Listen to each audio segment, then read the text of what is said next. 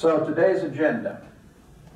Very quickly, we're going to cover how a motor works, uh, a little bit on motor performance. The big key here is I want to get you up to speed on what a speed torque curve is for a motor. Really, that's the takeaway from what would have been the first two to three hours of talk. You just need to know how a speed torque curve works and what it means. You know, later on, you guys can go back and to the extent you're interested, you can study the slides, Google, internet, whatever, and figure out all the physics of how do you get to the speed torque curve. But for today, you just need to know what that is, and we're going to go forward. We will then spend a little bit more time on the Talon, on the overview, what all of the aspects that are programmable, what do you have to worry about. I have a little insight into the firmware upgrades that will be coming for the Talons next year and some of the new features that will be showing up. Um, we have a pretty good relationship with Omar and the guys over across the road, and so we talk to them quite often. We'll talk about encoders. Uh, we'll do kind of a halfway in-depth thing, talk about the different styles of encoders, but it probably won't be a college level depth course. And then we're going to dive right into how do you configure one of these things, where you've got a Talon, a motor, and an encoder. Uh, we have got some ways to, in essence, change what we call the physical plant.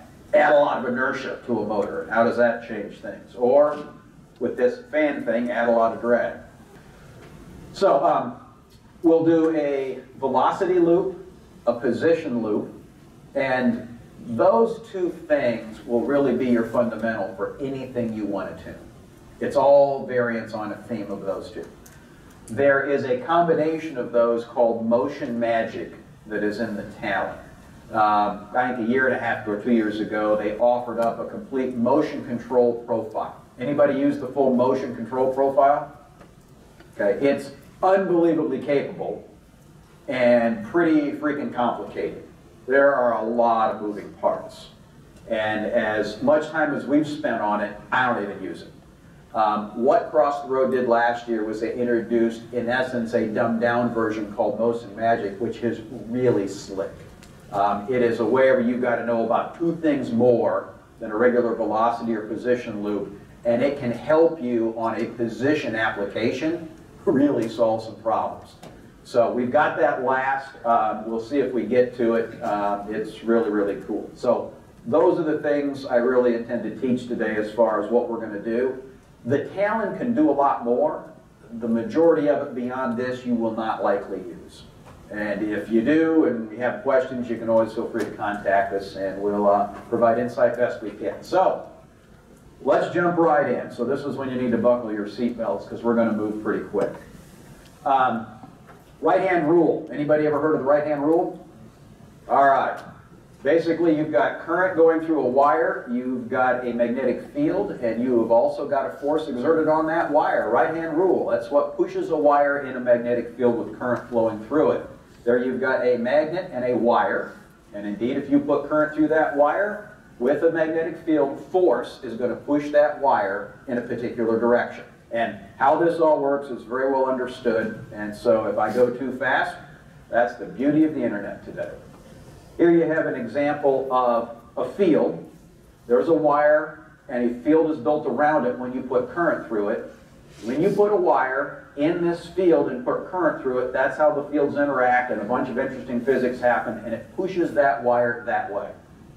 If I put two of them in there, that wire is being pushed up, that wire is being pushed down. A little foreshadowing. If I actually put that on something that spins, that wire gets pushed down, that one gets pushed up, wants to make that go in a circle.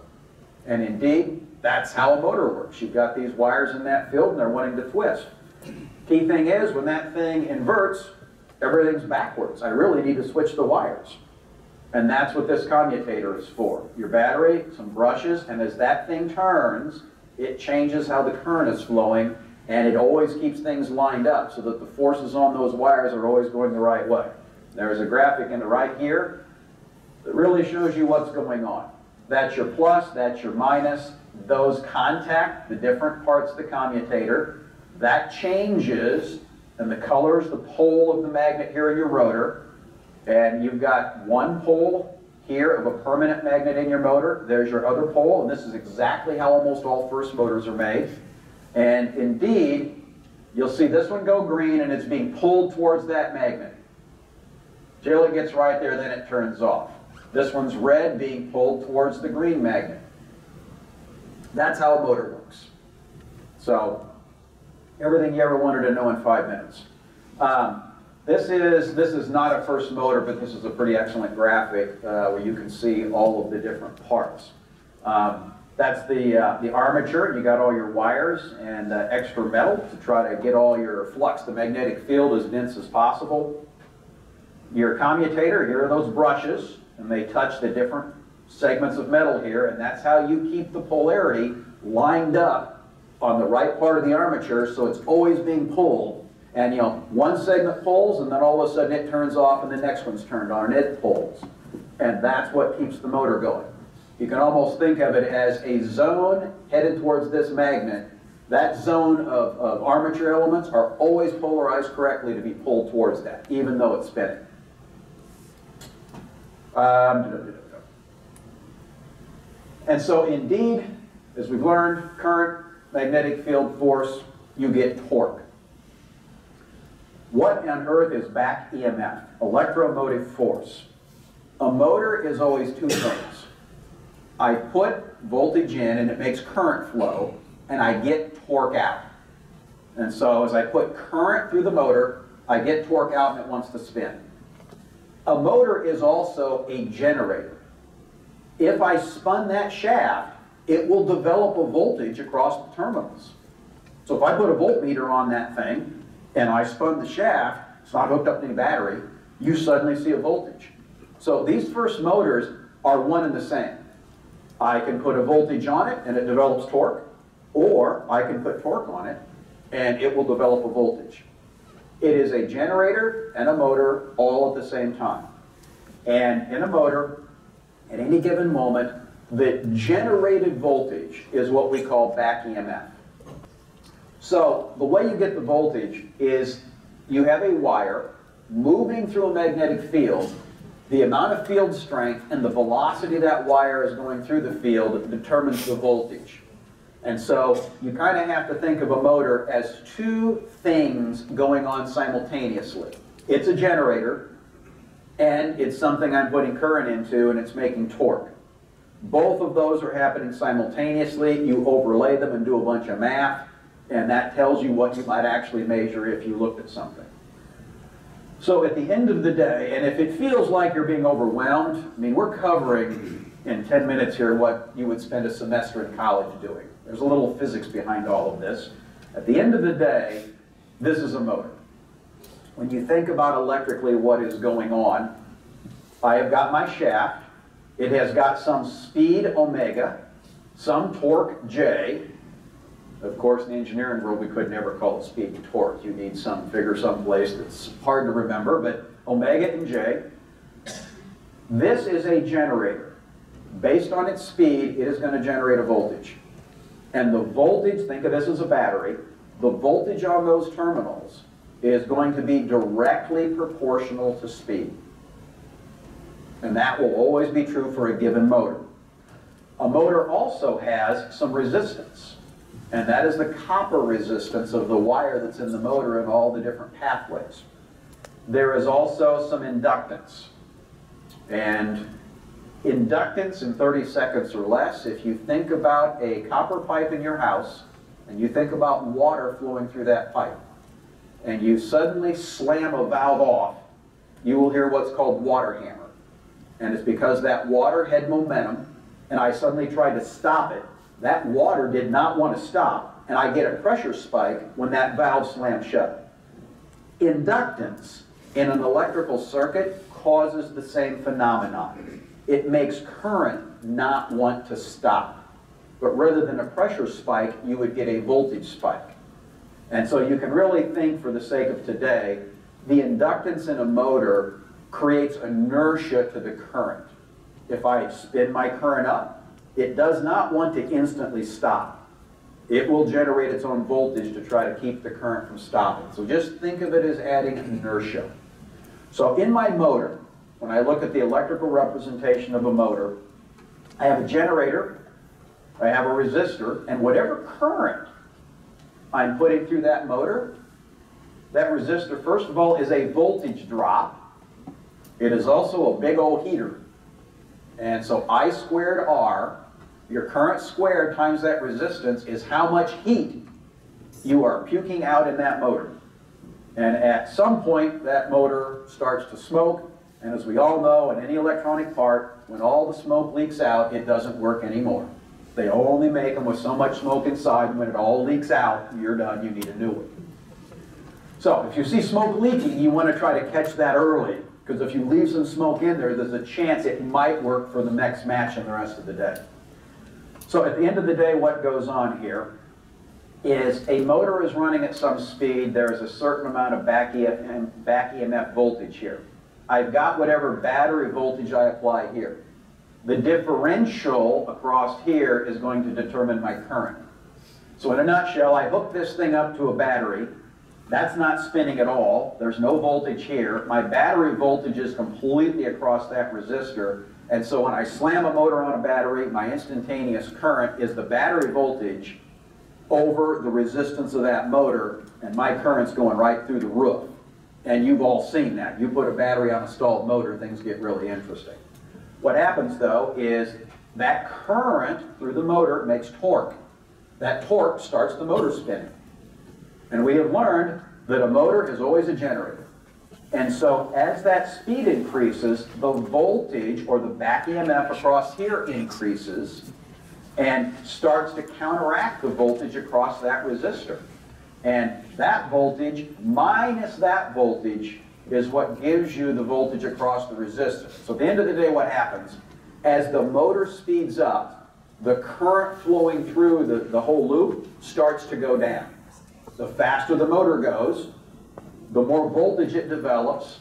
That's the opposite of this voltage. And this voltage on the resistor is less and less and less and less and less.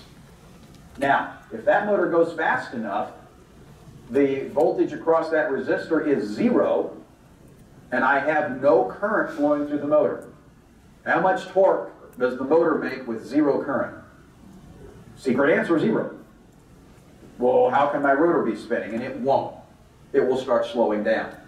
And so when you plug a motor in, what happens is you have an initial big burst of current, the rotor starts to spin up, the back EMF of the motor starts to eat up the voltage that's across that resistor. The current goes down and down and down until you reach an equilibrium point where this is not quite battery voltage. That leaves just enough voltage across the resistance of the motor to give me enough current to make it run at that speed. It doesn't actually get to pure battery voltage speed. Okay? So, and there's tons on the internet that will walk you through this. So if your head is spinning, this is important to know, and go spend some time uh, studying that. At the end of the day, volts equal speed, amps equal torque. That's what happens in a motor. You want to know what the torque in the motor is? What current is flowing through it? You want to know how fast it's going? Look at the voltage, but you have to keep in mind your voltage is always my generated voltage and then whatever my current is times that, times that resistor. There's always two parts in the voltage. At the end of the day, this is a speed torque curve. And what this amounts to is when I take a motor and slam it across the battery, I'm instantly going to be right. I have got my full battery voltage across resistance that's just the copper of the motor. And that current is going right through the roof. It's that battery across that resistor, and that is going to make a ton of torque. It's also going to make a ton of heat, I squared R. And keep in mind that I squared thing is not your friend. As motors slow down and you load them, they don't build heat linearly. They build heat exponentially. So a stalled motor, you know, start a very short stopwatch. You are going to build heat like crazy. Um, so what happens, I plug the motor in, I'm right here, I have lots of torque, and so my motor starts to speed up. Because in this particular case, I just have a shaft here, I got no load on it.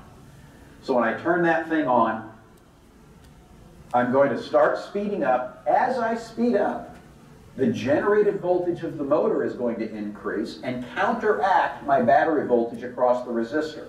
And I am going to lose current as my speed increases. And that will continue to happen. I will go faster and faster and faster, and I will stop right about here. I can't get clear to here because then my generated voltage is exactly my battery voltage and I have no current to overcome the drag of the bearings or the air losses of the rotor spinning. They're small little thingies that make a motor consume some amount of power to just spin its own rotor. And so at the end of the day, what you need to know out of the spiel you just heard is every motor has a speed torque curve. If I put a given voltage on that motor, that voltage over that motor's internal resistance is going to tell me my stall current or my stall torque. And every motor has got a voltage constant and a speed constant where I could say, okay, if I got this many amps, what torque is that? Literally, I could put amps on this scale as well and just get it scaled right. Um, but torque and amps for a given motor are one and the same times some factor. So slamming on the battery, big current. As it accelerates, I go faster and faster and faster, but that limits the amount of current I can get through the internal resistance of the motor. My max torque is less and less and less, and eventually I'm going to sit with full battery voltage and idle right about there. So for any motor, you simply look at its full voltage free speed, and that's some volts and some speed, you put a dot there. You look at the current or the torque, you put a dot there, and you draw a straight line. And as I spin that motor up, as I grab the shaft and start slowing it down, which, hey, guess what? We have welding gloves here. Guess what I'm going to do later on? We're going to grab that shaft and slow it down. Um, what's going to happen is that motor will actually run up that curve. If I was to grab that motor and slow it down to, say, 3,000 RPM, and it's just this motor and it's me with my hands on it and I've got it held at 3,000 RPM and my fingers aren't on fire quite yet, what's my torque going to be at 3,000 RPM and what's my current? Very easy. 3,000 intersects right there, and so I'm going to be at, say, 1.1 newton meters, and if there was a scale on here, I would know what amperage. A CIM motor is about 130 amps right here, so I'd be about at 60 amps. So if I grab that motor shaft, if I had 12 volts on this, it's running full speed, and I grab that and start squeezing on it, when I get it slowed down to 3,000 RPM, with my calibrated fingers, I hold it exactly at 3,000 RPM. That motor is now going to be pulling 60 amps and be generating about 1.1 newton meters of torque, and that's because my speed torque curve told me that. So a motor operating in what we call open loop, big term for today, open loop. It's a battery and a motor hooked together it's going to want to do exactly that. It's going to go that speed, and as I start to load it, could be with my fingers, could be some part of your robot, it is going to follow that line up and down.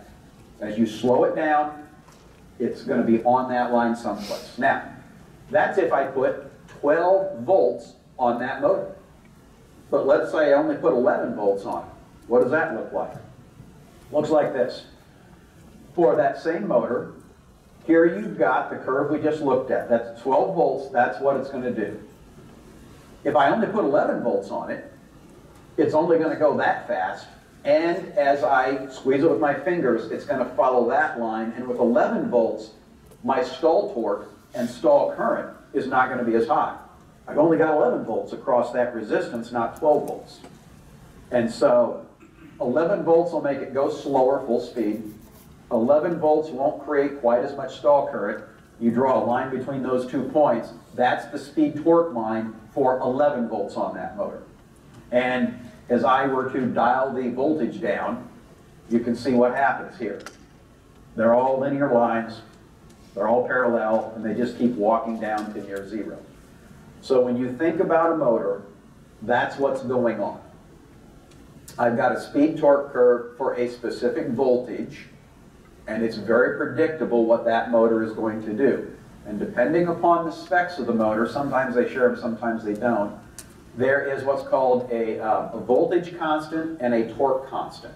And it basically says this many amps times this torque constant is going to give me this much torque. And these many volts times this voltage constant is going to give me these, these volts.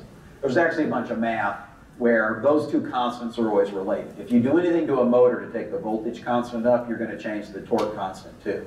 They're heavily, they're completely related. You can't say, well, I want a motor that only takes one volt and does these magical things torque-wise. They're, they're related. There are some physics limitations when you design a motor. So that is a combination of speed torque curves for a CIM motor as I were to apply different voltages open loop. So if you wanted to know what speed torque curve open loop looked like for 6 volts, it's that green line, it's this right here. That's the speed it would run, and as I grabbed it with my fingers, it's going to do that. It's eventually going to stall right there, and that's that. Okay? Everybody got this somewhat in their head. Any quick questions anybody has? Okay. Yes?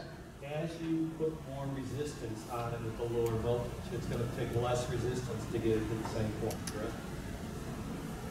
Say that again? If your, your, if your robot. Oh, you mean with my fingers, not only, right, yes. Yes, as I grab it less, it takes less torque, which means it's gonna speed up. The generator is gonna make more voltage, which is gonna counteract the resistor, so my current is gonna go down. And basically, you're running up and down that line. And it's purely related to how much torque I need, and then that'll tell you where you're at. Okay? Right, key thing is open loop. Battery, motor, no intelligence, this is what happens. You will then see curves that look similar to this. Um, that's pretty common you'll see for a motor where they say, okay, RPM, and they'll show you, it won't be percent, it'll be whatever the number is. This is my free speed at some voltage. They will say, this is my free speed RPM at this voltage. For example, for one of these CIMs, it's about 5,400 RPM at 12 volts. And they will also tell you that, hey, at stall, this is going to be my torque, and this is the current you are going to pull at stall. Now, one interesting thing that, that happens, when you take a dead cold motor and you slam a big battery on it, your current will spike up to whatever that voltage across that resistance is. But that's a big old heater. And as that copper gets hot, its resistance goes up. So what you will find that if you were to dyno a motor, or quite frankly, just take the copper and put a big battery across it, your current will spike up, and then it will start coming down as the copper heats up because the resistance is going up. And it will eventually reach equilibrium to where it's shedding heat as fast as you're putting heat in it, up to the point all the smoke leaks out. So key thing to know, the peak torque you can get out of a motor is a lot higher when that thing is stone cold. So at the end of a two minute FRC match where your drive motors are smoking hot, you do not have the ability to get anywhere near as much torque out of them because in essence your resistance has gone up. Okay? All right. When you think about a motor and getting work done, if I am pushing really hard on this table, but nothing's moving, I am not doing any work. I might be getting tired, but I'm not doing any work. There's nothing moving, I'm gaining nothing. And if I happen to be running across the room, but I'm not carrying any weight with me, I'm just going 900 miles an hour, I'm not really doing any work either. Technically, I'm moving my own body, but we're uh, simplifying things for today's discussion.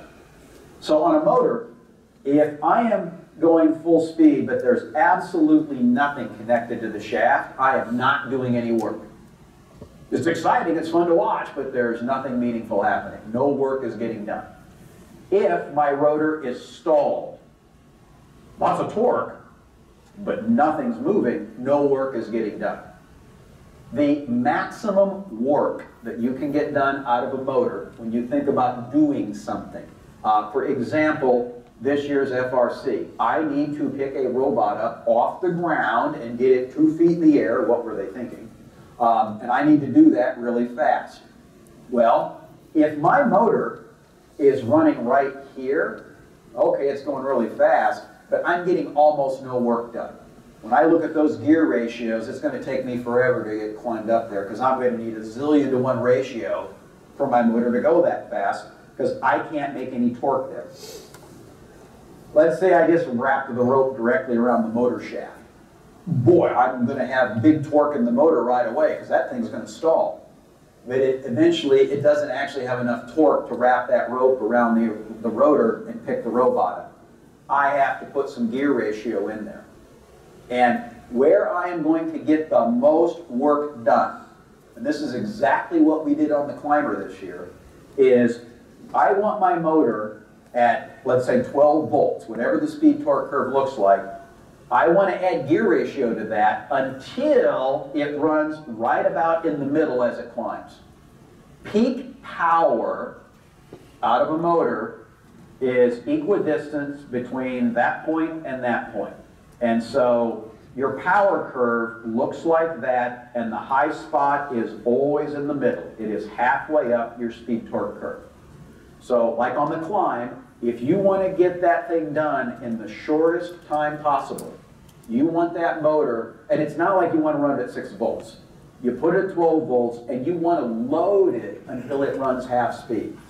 If it's faster than that, you'd climb faster by putting some more gear ratio in. If it's slower than that, you got to take some gear ratio at X the other way around. But that's what you want to do. So that's how you extract the most power out of a motor is you load it to half speed of whatever its free speed is at the voltage you're running it at. Now, lots of times we don't care about extracting max power out of the motor and you put gear trains on it for different reasons. But that's max power. You've then got efficiency. This is battery energy in to work coming out of the motor.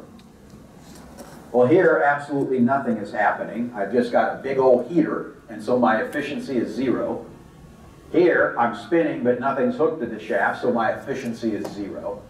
Turns out, and this is where this will look different for different motors, um, up here is where your max efficiency is as far as work you can get done per battery amount of energy. So if first matches actually lasted 30 minutes instead of two minutes, you'd run a lot of your motors right here because you don't have enough battery to go 30 minutes and you're trying to figure out how to make that motor convert battery power to work as efficiently as possible. You're going to get your work done a lot slower than if you were running at mid speed, but you'll actually consume that energy more efficiently. Okay? It turns out in two minutes with one of these batteries, it is virtually impossible to drain a fully charged battery. And so in first, this is somewhat irrelevant. In the real world, you do have to worry about these things. So first motors. This is an example of a CIM motor. Big motor, lots of copper, spins relatively slow. It's heavy. There's no fan, but big thermal mass you can be really, really mean to these motors and probably not hurt them.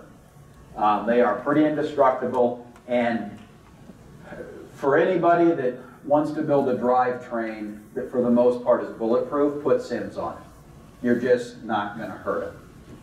You then got a baby version of that, a bag motor. Same architecture, there's no fan in it, but it's a lot smaller. You get a lot less power out of it, but it's a lot smaller motor. So less copper, medium speed, it runs faster, um, doesn't weigh a lot, there's no fan in it.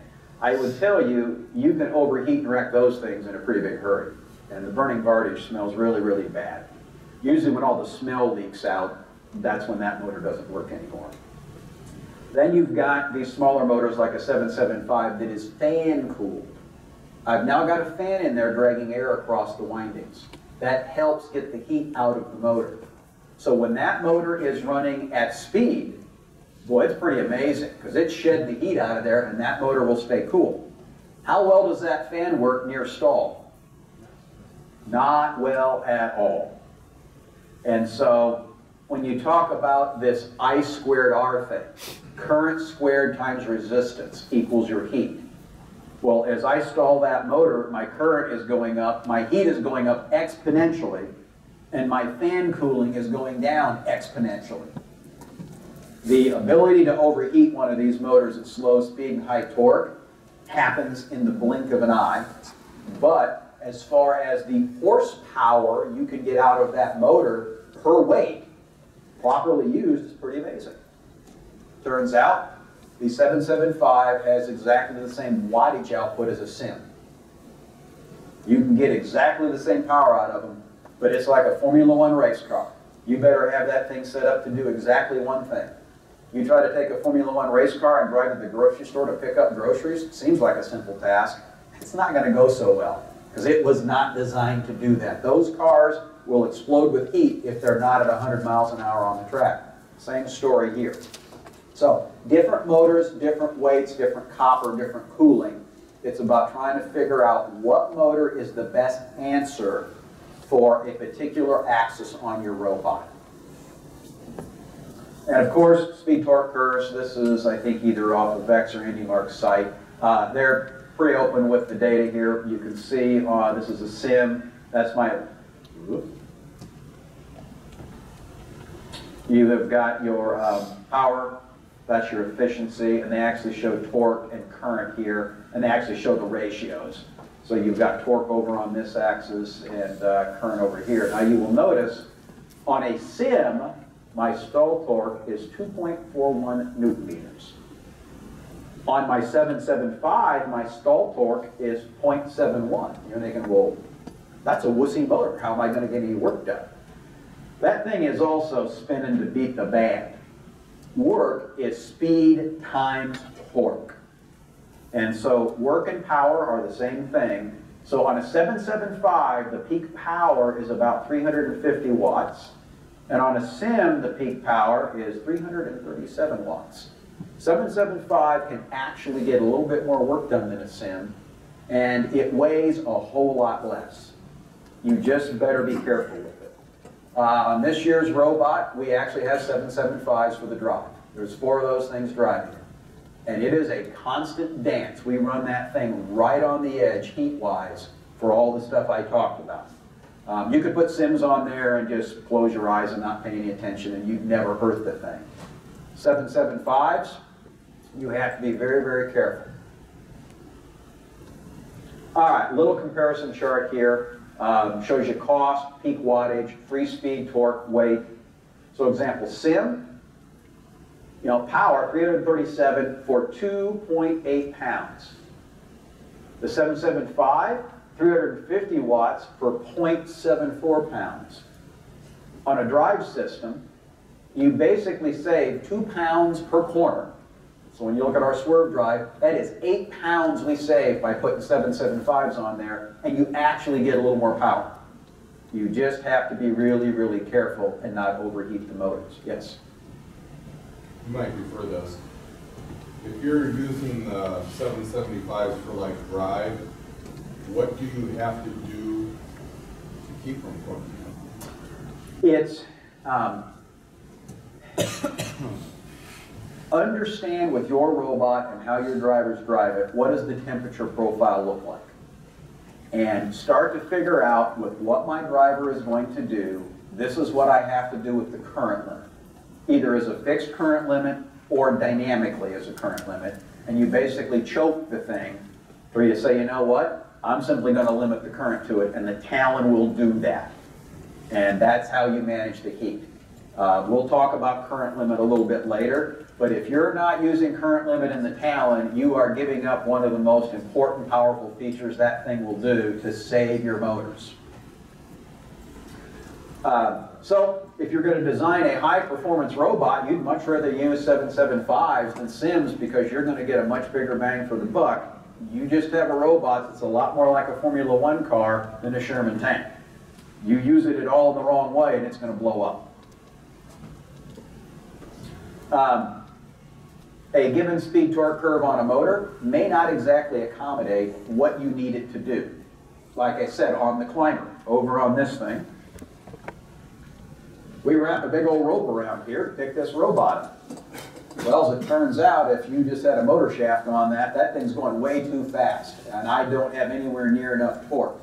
So there are two 775s, so almost a full horsepower, going each through 100 to 1 gear, by accident, hmm. they weren't 100 to 1s. They were, it's written down somewhere. That's- We'll say 50 to 1. Through 50 to 1 gearboxes, um, through chains coupled to this shaft. To get the speed and the torque on this shaft right, so that when you look at the diameter of the shaft, and you look at the fulcrum arm, and you look at the rope, when this thing is climbing, those motors have 12 bolts on them, and they are pulled down to about half speed. And this thing will climb from the ground to the top in about two seconds if the drive team runs it wide open. Now, there's actually, if we had time, the, the buttons where it went a lot slower because uh, it would pretty much rip the tower down when it got to the top if you didn't stop it. So you put gearboxes on these things to then get the speed torque curve changed to what you actually need for your job. The motor's still the motor, but the gearbox will slow down the speed and increase the torque. And you can simply take the torque curve, do a little bit of math, and you have a different torque curve of what's coming out of the gearbox. Lots of choices here. That's a bag motor on one of the VEX blocks. We love these things. Uh, you've got the different stages and you can do anything you want. Uh, how many folks familiar with the VEX gearboxes? The, basically, um, you can put that on a full CIM, you can put that on the smaller motors, and there are stages you put in there. And they're planetary stages. And stages, there's a, uh three, a four, a five, a seven, a nine, and a 10. And you can put that ratio in each of those stages, and they're, um, they, they just all multiply. So if I want 100 to 1, I put two 10 to 1 stages in there, it packages up very nice, and I have a 100 to 1 gearbox. If I want a 3 to 1, I just put one 3 to 1 stage in there, and I have that. We use those almost exclusively any place where we need to really slow things down. We do not use them for the main drive. In a planetary system, you are moving a lot of gears. It's wonderful, it's compact, but there's a lot of gears moving. We tend to not use them for high-speed, low-ratio step-downs. Uh, that's actually got what they call a um, simile on it, where you've got a 775 going into a little spur gear, just one gear and one big gear, and then that comes out. We tend to use those for our higher speed applications. Uh, But here you see a big CIM on their adapter that feeds into those gearboxes. That's three CIMs on a drive gearbox. That's a couple of other 775s or 550s tied together to drive that same gearbox. That's an AndyMark motor with a, uh, I think it's a- probably a 70 to 1 gear ratio on there. So lots of choices in first of how I hang a gearbox on my motor to get that ultimate speed torque curve where I need it for my application. And it depends what you're doing. Okay, yes? For the situation where you've got like two seven and seventy-fives. Yep. Um, in tandem on the same gearbox, and you're trying to say do current limit to keep it cooking them? Yep.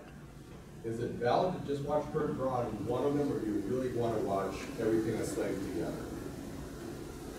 If the motors were perfectly balanced, which they're not, you could technically watch current limit on one, and it would be okay.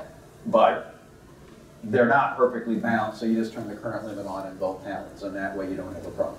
Well, the reason, the reason I asked is because if the new Victor's out, you can slave those to the calendar. Correct. But they don't have current measurement in it. Slave. Uh, I have not studied the spec on the new version, so there's no current limit in those. Slave 'em. Okay, here, here is my advice. In the new Victors, what you have is something, and we'll talk more about this, that is forty dollars cheaper. It's a fifty dollar part instead of a ninety dollar part, and it does a lot. I didn't know there was no current limit in there.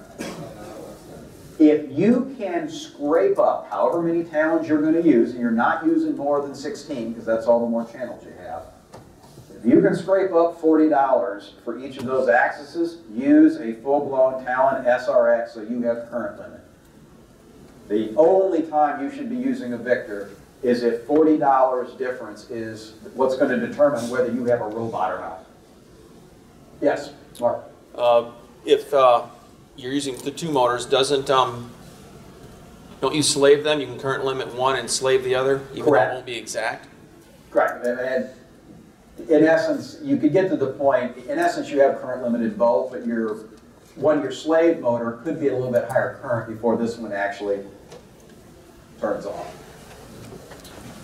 All right, so yeah, I did not know that the new Victors don't have current limit. That is a huge reason to probably go with the Talon if you can come up with the forty dollar differential. All right, motors and gearboxes. Heat, where's the heat come from? The copper. Here you see the copper. That's where the heat's coming from. So when you look at a motor, when you put current through it, that's the heat source. And keep in mind, it takes a while for that heat to get out of there. And so you, you use the motor and say, oh, it's just fine. I can still put my hand on just fine. Yeah, check it in 10 minutes when that heat actually soaks out of that thing and makes it to the outside. You have to remember the wiring and other things inside can be destructively hot before you feel anything on the outside of the motor. All right. That was yours. Too bad. All right. So, we talk about putting a specific voltage on a motor. I put 12 volts on my motor, or I take a 6 volt battery and I put 6 volts on my, my motor. Well, how does the Talon actually change the voltage to a motor? It does not actually put in an extra resistor or a rheostat and turn it down. It uses what we call pulse width modulation, PWM. And this is where that inertia we talked about comes in.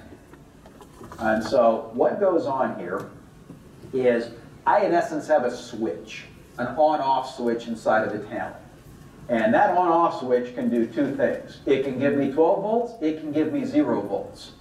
That's all that is ever coming out of these green and white wires. It's, it's either 12 volts or it's zero volts. But the Talon has the ability to turn that switch on and off really fast. So it turns out, it turns that switch on and off 15,600 times a second. And so that's the frequency at which it can turn that on and off. It can also decide, I want to turn it on just a little bit, and then in one fifteen thousandth of a second, it does that again. Or it can say, I want to turn it on a lot more. That's a 50% duty cycle. 50% on, 50% off.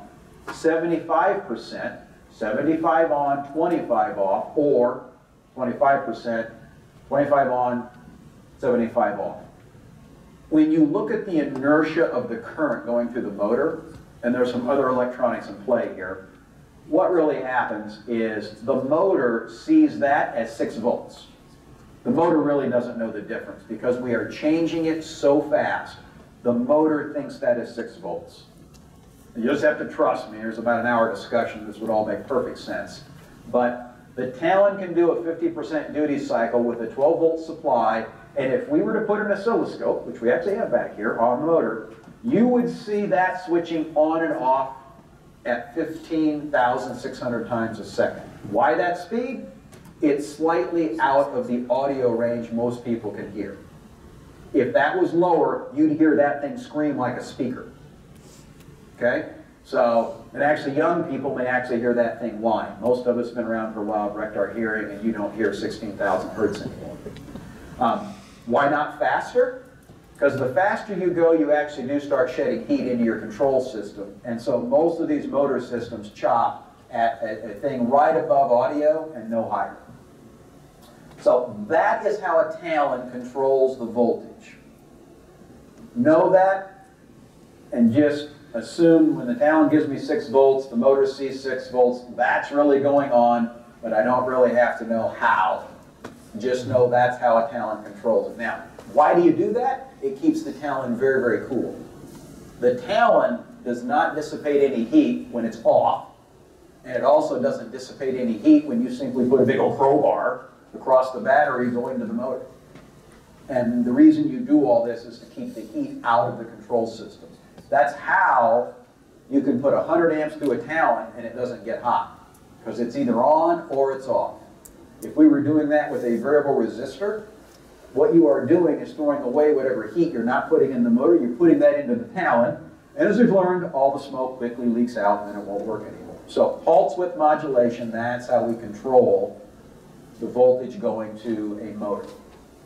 Um, Yes, I just want to make everyone aware that, that that is not the same PWM as the signals coming out of the roboRIO. very good point. That's old, that's another discussion, but they do not, they are not the same thing. Right. They are both pulse width modulation from a technical term standpoint, but they are two different things. Okay? All right. So if I hooked up a bunch of instrumentation and to my motor, what I would see is if the Talon was attempting to make my motor go faster and then go slower, um, it would change the pulse widths, and my current does not change instantaneously. My current ramps up, I turn my power off, it ramps down. I turn my power on, it ramps back up. And that's what your current would actually look like. So, and this gets back to the inertia, the inductance in the motor is what does that. So, for those that are interested, get on Google, you can study to your heart's content, and this is a electrical engineering college course, but that's what goes on. That's how the Talon does all of this.